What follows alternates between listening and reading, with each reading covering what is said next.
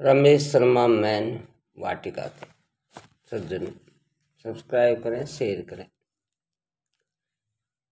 Like करें। आपकी मैत्री कृपा।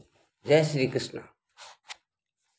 ततः सोते हैं युक्ते महती सदने स्थितो। माधव पांडव से दिवो संको पद्मतु। इसके अनंतर सफ़ेद घोड़ों से युक्त उत्तम रथ में बैठे हुए श्री कृष्ण महाराज और अर्जुन ने भी अलौकिक शंख बजाए। पाँच जन्य ऋषिकेशो देव दंतम धनुजय पौंडे धर्मो महाशंख भीम कर्मा वृकोदर श्री कृष्ण महाराज ने पाँच जन्य नामक अर्जुन ने, देवदत्त नामक और भयानक कर्म वाले भीमसेन ने पौंड्रा नामक महाशंख बजाया। अनंत विजय में राजा कुंती पुत्रो युधिष्ठिर। नकुल सहदेव से सुघोष मणि पुष्प को कुंती पुत्र राजा युधिष्ठिर ने अनंत विजय नामक और नकुल तथा सहदेव ने सुघोष और मणि पुष्पक नामक शंख बजाए। काश से परमेवासे शिखंडी चे महारत दुष्ट धर्मो विराष्ट्र से सातिक श्रुपा राजित। द्रुपदो द्रुपदास्ते सर्वस्व पृथ्वीपते सौभाद्रक्ष महाभाऊ संखंधम पृथक पृथक। श्रेष्ठ धनुष वाली काशी राज और महारथी सिकंडी एवं दुष्ट ध्रुम तथा राजा विराट और अजय, सात्विक राजा द्रुपद एवं द्रौपदी के पाँचों पुत्र और बड़ी भुजा वाले सुबुद्धा पुत्र अभिमन्यु।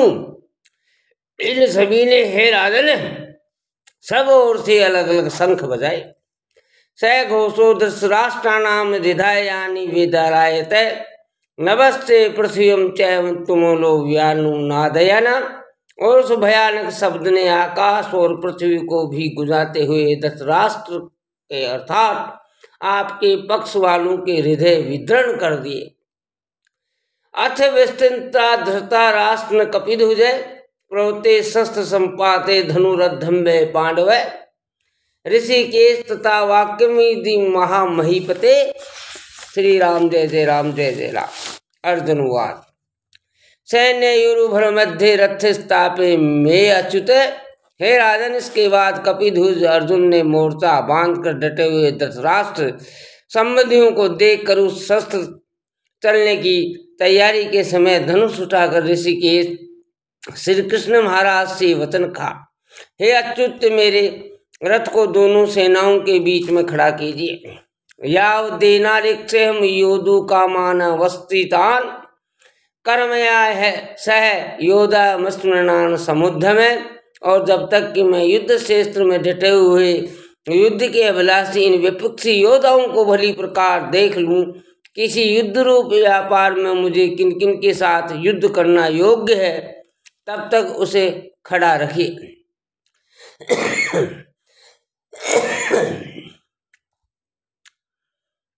योतस मानान वेक्षम ये समागता दसराष्ट्र द्रुबुद्ध युद्धे प्रवृत्ति की। सब है, द्रुबुद्धि दुर्योधन का युद्ध में हित चाहने वाले जो ये राजा लोग इस सेना में आए हैं इन युद्ध करने वालों को मैं देखूँगा।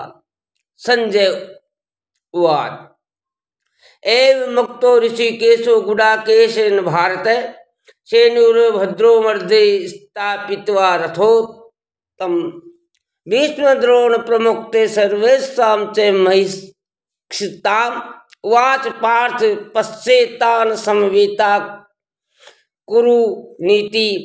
संजय बोले, हे दृष्टार्थ अर्जुन द्वारा इस प्रकार कहे हुए महाराज श्री कृष्ण ने दोनों सेनाओं के बीच में भीष्म और द्रोणाचार्य के सामने तथा संपूर्ण राजाओं के सामने उत्तम रथ को खड़ा करके इस प्रकार कहा कि, हे पार्थ, युद्ध के लिए जुटे इन कोरों को देख।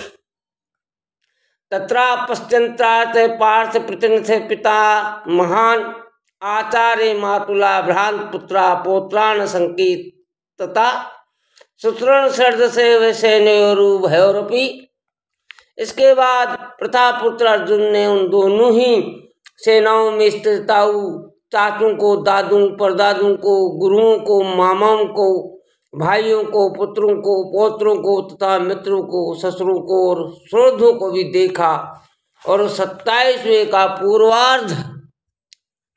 हरे हरे।